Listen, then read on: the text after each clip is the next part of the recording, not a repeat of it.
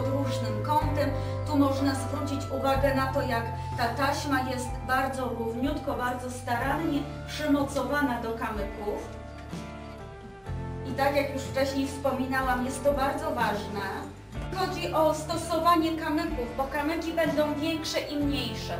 Do kolczyków bierzemy mniejsze, do wisiorka umówmy się, że możemy wziąć maksymalnie trzy koraliki. Jeden większy, dwa mniejsze.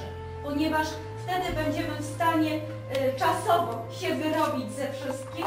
I one mają taki kolor i on się nie zmienia. Z tymi nałożeniem taśmy miedzianej tak w poprzek.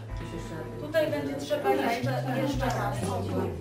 Tutaj będzie trzeba tą ściągnąć i jeszcze raz oczyścić i nanować taśmę, ponieważ jest za dużo tam tego.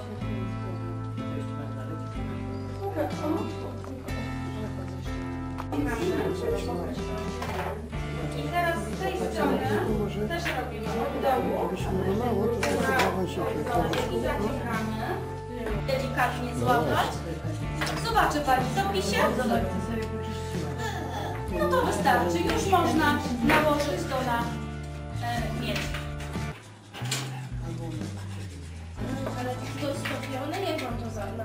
To już jest na grocie. Proszę spróbować przejechać y, grotem lutownicą po miedzianej tej taśmie, którą Pani ma na koraliku.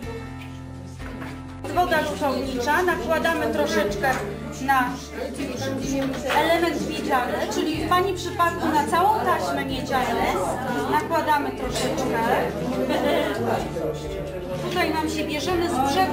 Brzegu, tak zawsze cyna, żeby pałka nie musiała się cała rozgrzewać.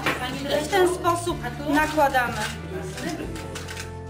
I robi na to? Tak, na tą miedzianą taśmę. Każdy miedziany element musi być pocynowany.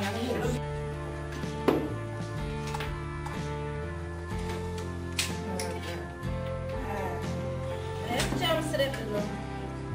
No i będzie srebrna.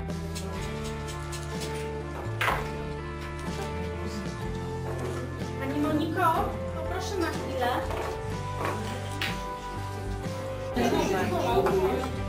Zostaje takie dłuższe? Aha. W zależności od ubioru.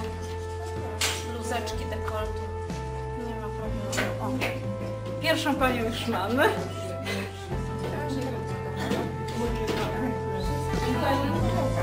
tak, no nie ma problemu. Agnieszka już? Nie? Artyka jak